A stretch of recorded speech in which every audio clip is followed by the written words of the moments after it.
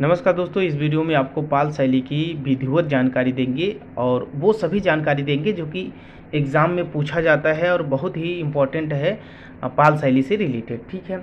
तो पाल शैली का शुरुआत करते हैं? तो पाल शैली आठवीं सती ईस्वी में प्रारंभ हुई बौद्ध धर्म के अनुसार। गोपाल नाम के एक सेना नायक ने 730 ईस्वी में एक राजवंश की स्थापना की जो पाल राजवंश के नाम से जाना गया।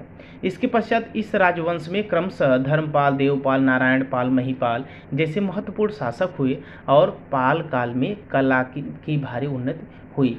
रामपाल राजवंश का अंतिम शासक था और इसको सामंत सेन ने पराजित करके अपना अधिकार प्राप्त कर लिया था। पाल शैली के चित्रों में अजंता की शैली की विशेषताएँ मिलती हैं और यूँ कहें कि जनता शैली की एक विकृत शैली का रूप ही पाल शैली कहा जाता है, क्योंकि यहाँ पे चित्र जो मिले हैं वो twenty two point two five कुड़े 2.25 इंच के ताड़पत्र पर बने हैं और पोथी चित्र में आयताकार या वर्गाकार अंतराल में अंकित किए गए चित्र हैं।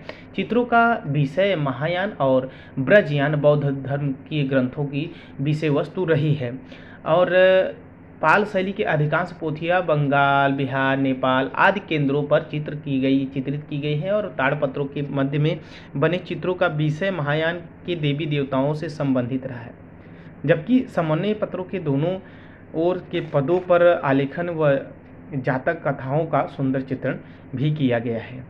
पाल कलाकारों को तांबे की मूर्तियाँ बनाने में भी महारत हासिल था। ये बात आप ध्यान दीजिएगा कि पाल कलाकारों को तांबे की मूर्तियाँ बनाने की भी महारत हासिल थी और धर्मपाल, देवपाल व महिपाल के काल में इस कला शैली की विशेष उन्नति हुई और इस शैली में अपभ्रंश शैली के चित्रों के लक्षण मुख्य रूप से प्रकट नहीं हुए हैं।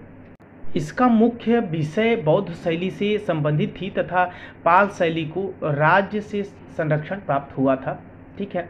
तो पाल शैली की संबंधित मुख्य महत्वपूर्ण जो तथ्य हैं, वो ये हैं कि पाल शैली का मुख्य उद्देश्य बौद्ध ग्रंथों को प्रतिबिंबित ग्रंथों के रूप में विकसित करना था। और पाल शैली में चित्र पोथियाँ लगभग 24 हैं, जिसमें अष्ट संहिता संहिका और प्रज्ञा पारमिता गंधगुह करण देवगुहा, पंचशिखा बोधिचर्य वृत्तम प्रमुख हैं और चित्रों में महायान देवी भगवान की आकृतियाँ बनाई गई थी, वह एक समान दिखाई पड़ती हैं। पाल शासकों के समय पट पेंटिंग भी प्रचलित था, जो लोक कला के रूप में बंगाल क्षेत्र में आज भी जीवित या प्रचलन में है। पटचित्र लोक जीवन के और हिंदू धार्मिक ग्रंथों के आधार पर चित्रित किए गए हैं और इस विद्या के चित- चित्रकार जो हैं, नीलमणि दास और बाल दास गोपाल दास, ये सभी हैं।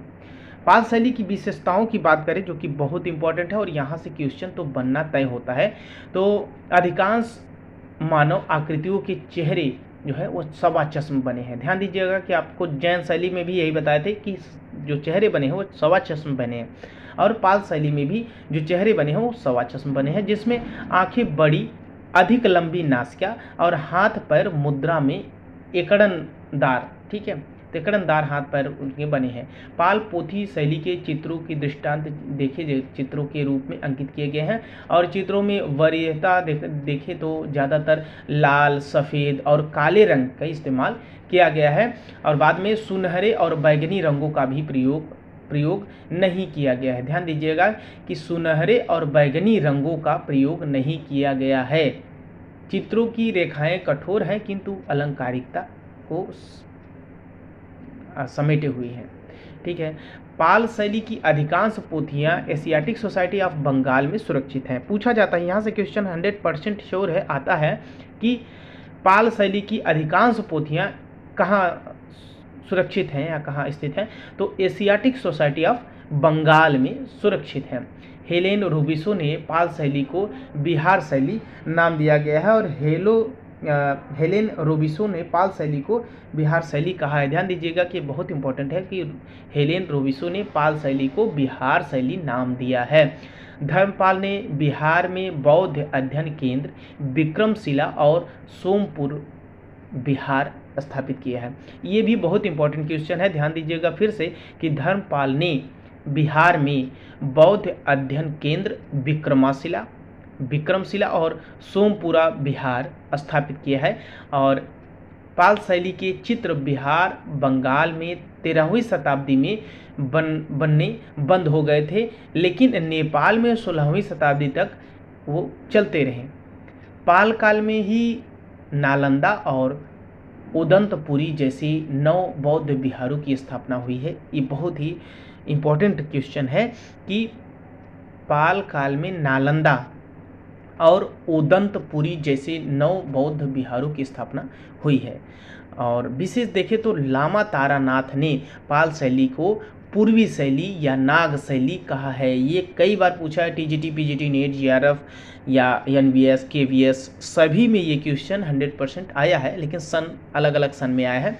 लामा तारन की पूछा जाता है कि किसने पाल शैली को पूर्वी शैली या नाग शैली कहा है? उसमें ऑप्शन दे देता है तो उसमें आपको टिक करना है, लामा तारानाथ ने पाल शैली को पूर्वी शैली या नाग शैली कहा है। ठीक है दोस्तों? तो ये वीडियो जैसा भी लगा हो, आप ज़रूर कमेंट करके बताइए। और इस प्रकार से मुझे वीडियो और बनाने के उत्साह देने के लिए आप इस वीडियो को लाइक करें और दोस्तों तक शेयर करें। और मेरे वीडियो को अभी तक मेरे चैनल को सब्सक्राइब नहीं किया तो प्लीज़ सब्सक्राइब करके अपने दोस्तों दोस्तों तक शेयर ज़रूर किया करिए, जिससे मेरा उत्साह बढ़ता रहे। Thank you for watching my video.